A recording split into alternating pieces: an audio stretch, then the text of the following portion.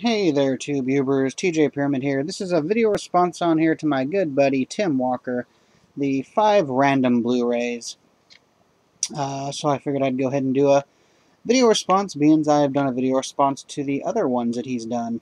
Um, I'm going to go ahead and start with, uh, well, let's just go ahead and start with uh, Tim Walker's favorite film of all time. Can you see it there? Taxi Driver. Uh, if you don't know what Taxi Driver is about, then uh, I guess you're not a fan of cinema. But uh, I just really want to show this release. It's a really cool release. Good old Peter Boyle. Good old Peter Boyle. Putting on the Ritz. It's a really cool edition here. It opens up. And of course you got lobby cards. Jodie Foster.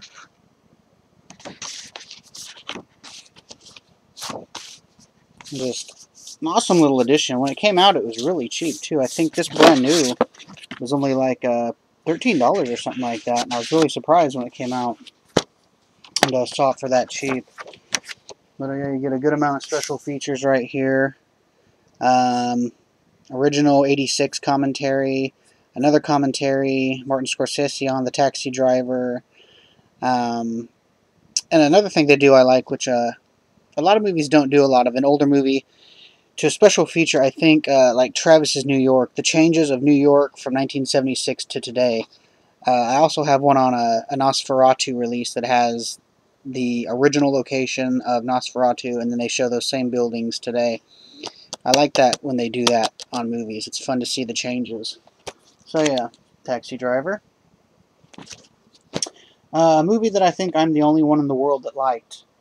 Uh, but uh, I just like uh, fantasy films with uh, swords and uh, magical thingies and whatnot. So uh, Snow White and the Huntsman. Yeah, I like that cover too. I like the way the birds coming off Charlize Theron and stuff. I don't know. I just just really like that. Just really like this movie. I in theaters actually. Um, yeah, I just like sword and sorcery and whatnot. I don't know. Uh, love these guys here. Uh, this is done by the uh, Spierig brothers, who also did Undead, and they have a new film out or coming out called Predestination. This is Daybreakers. Um, good cast. Not a huge fan of Ethan Hawke, but uh, he's good in it.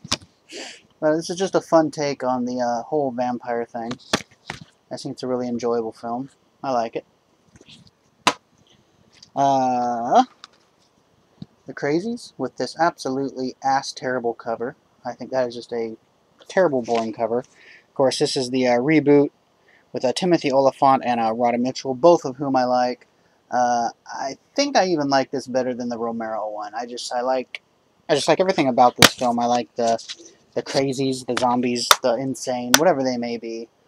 I just like this film a lot. I was always hoping that there'd be a sequel of some sort, uh, probably called The Crazies 2, or maybe uh, Still Crazy. Or maybe uh, they could uh, get Gene Wilder and uh, Richard Pryor and do Stir Crazy. No. So the Crazies, yeah, the reboot, the remake, the whatever boot, the whatever make. I like it. And uh, last up, for fans of apocalyptic movies, this is one that I can't push enough. This is an absolutely kick-ass, badass film, people. Bounty Killer. Road Warrior meets Kill Bill. Usually I don't like those taglines, but that fits this film very, very well. It is the Road Warrior meets Kill Bill. Some kick-ass action in here. Um, some over-the-top action, as you expect. And, of course, if it's like a Mad Max, you got vehicles chasing vehicles. Uh, you got some crazy-looking uh, post-apocalyptic type characters. And uh, you got some sexy women. You got some handsome men. And uh, they're shedding blood and everything else. Uh, Kristanna Loken, Matthew Marsden, uh, Eve Jeffers, Beverly D'Angelo, and Gary Busey. Come on, Gary Busey. You got to watch him in anything he's in. But uh, yeah, Beverly D'Angelo. There you go. Won't recognize her in this film.